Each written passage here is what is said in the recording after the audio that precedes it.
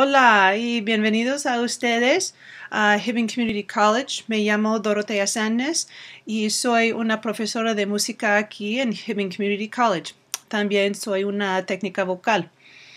Y por los tres últimos años ha sido una estudiante graduada en un programa de maestría de Mankato State University. Se llama, um, se llama Spanish for the Professions. Y nuestro proyecto para nuestra clase de comunicaciones ese semestre era crear una presentación útil para los nativos hablantes de español en nuestra área. El tema de esta presentación, entonces, es algunos aspectos del Iron Range, incluso la, historia y un poco de música de esta área. No soy una experta, pero espero que esta presentación vaya a enriquecer su experiencia de vivir en el Iron Range. También creo que um, voy a darles una apreciación y un entendimiento de esta área y la historia de la gente inmigrante que trabaja muy duro para establecer una vida aquí. El Iron Range es conocido por muchas cosas y casi la más importante es la industria de la minería. Y aquí tenemos una mapa del Iron Range, de la Cayuna Range, el Mesabi Range y el Vermilion Range. Y también podemos ver el Gunflint Range en Canadá y también tenemos regiones en Wisconsin y Michigan. Pero para esta presentación vamos a enfocar en el Mesabi Range porque este Hibbing está en el Mesabi Range. Mesabi significa uh, Giant's Mountain. Vermilion se refiere al color rojo del hierro y la historia del nombre de Cayuna es muy interesante.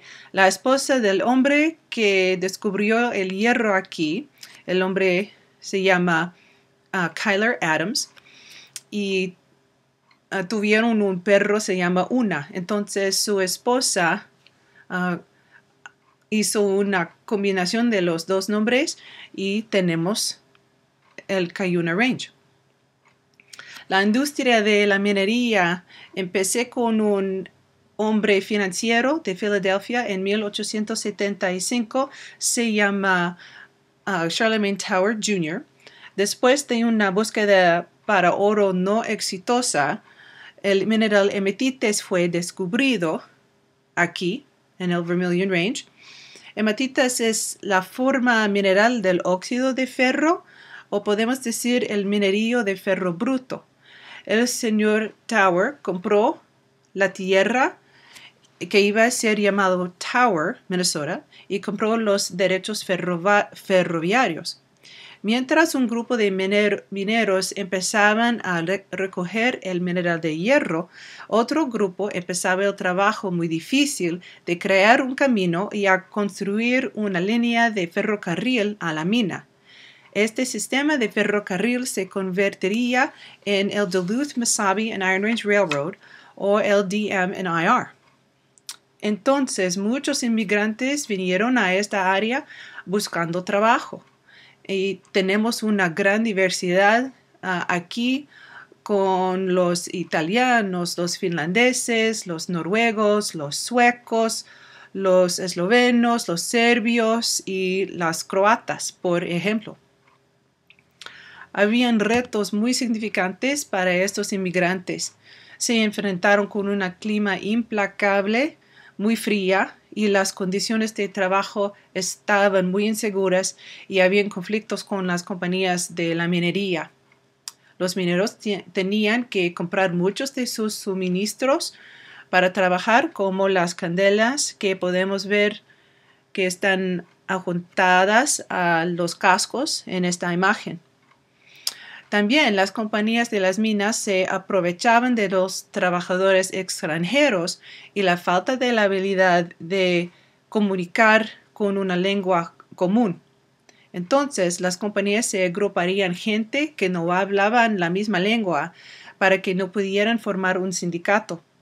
Pero los trabajadores resolvieron cómo comunicar y eventualmente se formaron un sindicato.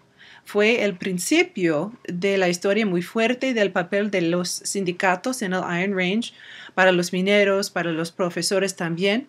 Y también fue el principio de la ética de trabajo muy fuerte de los Rangers. Muy cerca de aquí, en Chisholm, Minnesota, tenemos un museo de la historia del Iron Range, se llama el Minnesota Discovery Center. Y aquí tenemos algunas imágenes. Ah, aquí tenemos el minero que está al otro lado del museo. También tenemos ah, una tranvía que da paseos a las turistas. Y también tenemos una imagen adentro del museo que explica el proceso de la minería. También en el Minnesota Discovery Center tienen uh, mini golf y un anfiteatro muy grande que está muy ocupado en, en los veranos. En adición, corrientemente en el museo del Minnesota Discovery Center hay una eh, exhibición, se llama Enough, the 1916 Mesabi Range Strike y está disponible desde el noviembre de 2016 hasta el julio de 2017. Y se trata de una huelga de los mineros en el verano de 1916. En el 15 de junio, uh, un, un hombre, Joe Greeny, un eh, inmigrante italiano, inspiró a otros mineros a salir de su trabajo de la mina de St. James. Y muy pronto los trabajadores del mundo industrial o los Industrial Workers of the World crearon una estrategia de huelga y una lista de demandas. Los mineros, muchos que eran inmigrantes, luchaban por horas mejores de trabajar un sueldo apropiado para las condiciones de trabajo y salarios más altos. De hecho, un minero John A. fue asesinado por la Guardia de, Seguridad de las compañías minerías durante el paro y Tommy Ladvala, un distribuidor de soda, fue matado durante un enfrentamiento entre la Guardia y los mineros. En fin, la huelga no fue exitoso, pero las compañías minerías cambiaron sus policías poco después de la huelga. Aquí en Omasabi Range, el mineral de hierro fue extraído de las minas que todavía se llaman open pit mines o las minas abiertas. Todavía está extraído de la misma manera. El hierro está más cerca a la superficie para que lo minen así. Donde el hierro es profundo subterráneo, las minas tienen que estar debajo de la tierra, como algunas minas en las regiones de Mesabi y Cayuna. Por ejemplo, la mina de Tower Sudan, ah, que fue fundado por Charlemagne Tower, está una media milla debajo de la tierra. Aquí en Hibbing tenemos la mina abierta más grande del mundo. Se llama Hull Rust y recibe muchas turistas cada año. Es más de 3 millas de largo, 2 millas de ancho y 535 ah, pies de profundidad. Hay un camión grandísimo, se llama un Earth Mover, para que los niños puedan subir y fingir de manejar.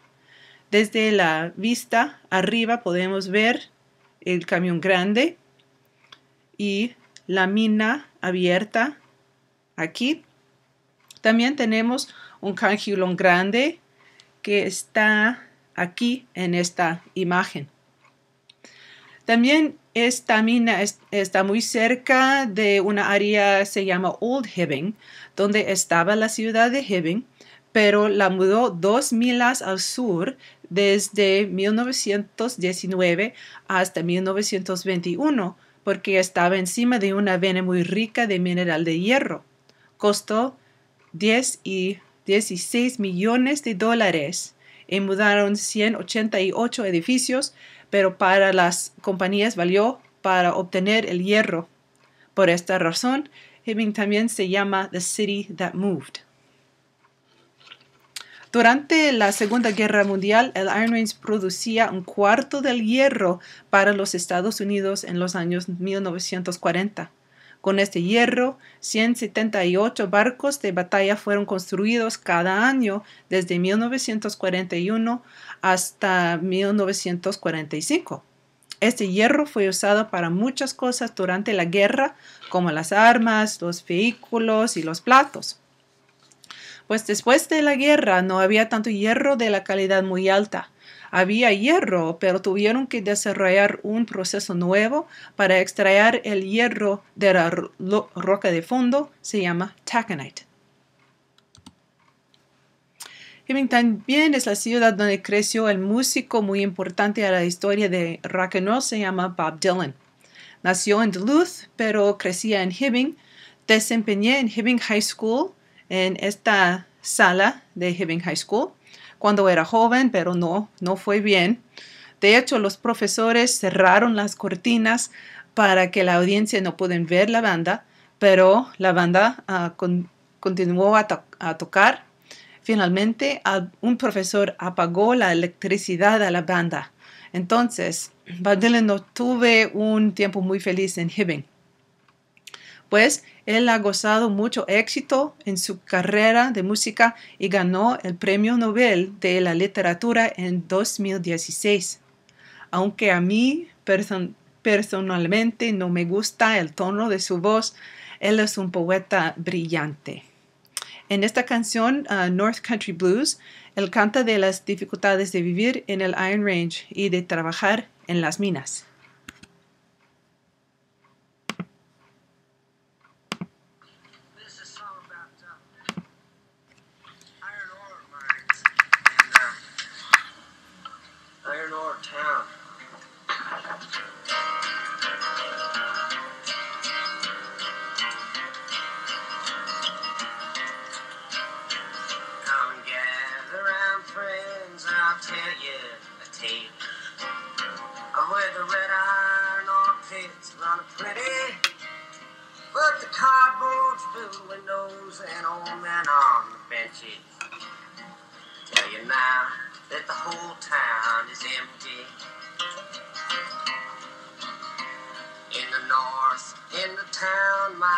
children have grown, But I was raised on the other, in the wee hours of youth, my mother took sick, and I was brought up by my brother.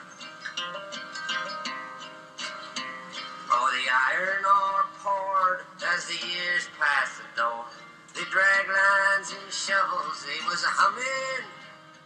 Then one day my brother feel to come home the same as my father before him.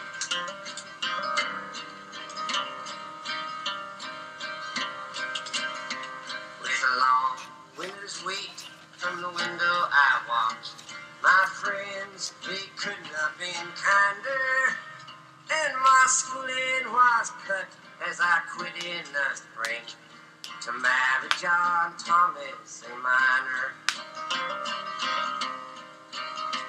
The years passed again, and the giving was good.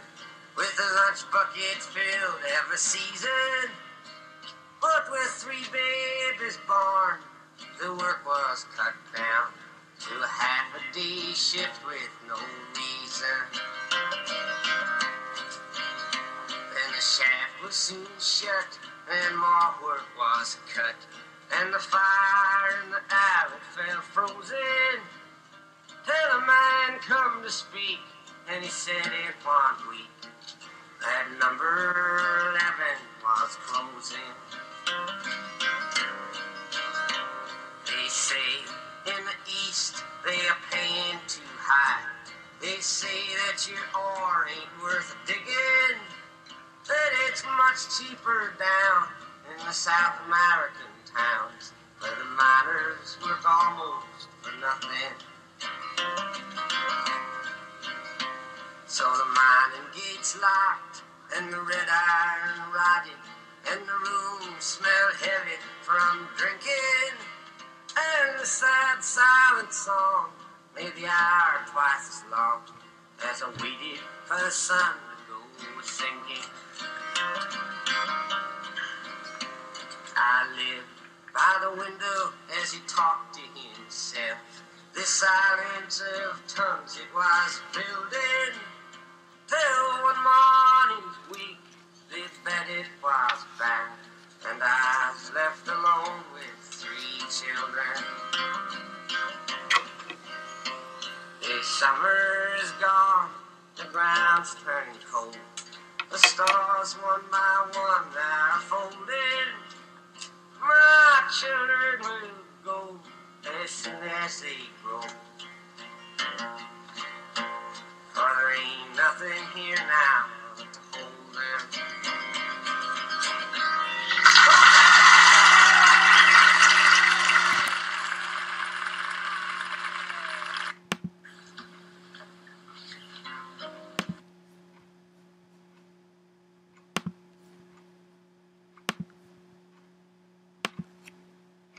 Pues es una canción muy triste, pero canta de la realidad de vivir en el Iron Range para los mineros y de, sus familias. Espero que esta presentación les ayude a entender parte de la historia de esta área y la gente. Uh, la gente que vienen de aquí están muy orgullosos de sí mismos y sus familias. La verdad es que muchos de ellos están descendientes de inmigrantes quienes trabajaron muy duro en condiciones, malas y en un clima implacable por muchas generaciones para construir esta área. Uh, Sandy, la asistente el, del provoste aquí en Hibbing Community College, recuerda las historias de la diversidad de su abuelo, quien hablaba de todas las idiomas que se hablaron la gente inmigrante. Nuestro preboste, el uh, profesor Mike Ryach, recuerda que su abuelo habló solo serbio. Muchas gracias por asistir mi presentación.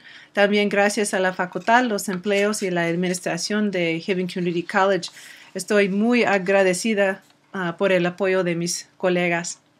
Para concluir, tenemos una recepción uh, con algunas comidas tradicionales del Iron Range son de Sunrise Deli y Bakery y Sammy's Pizza.